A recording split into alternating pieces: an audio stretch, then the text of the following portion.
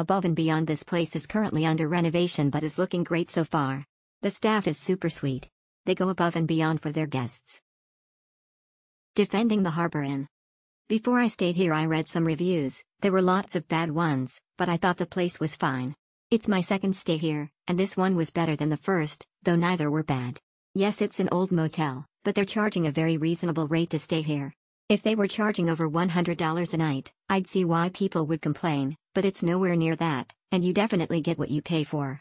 I had a very quiet night, no annoying neighbors, no bed bugs, everything worked, bed was comfortable, staff was fine, Sheetz next door is extremely convenient, and I left happy. I did see two cockroaches in my room, but once again I reiterate, you get what you pay for. This happens sometimes in inexpensive motels, and if you don't think so, these hotels aren't for you. I would absolutely stay here again, you should too as long as your expectations aren't too high.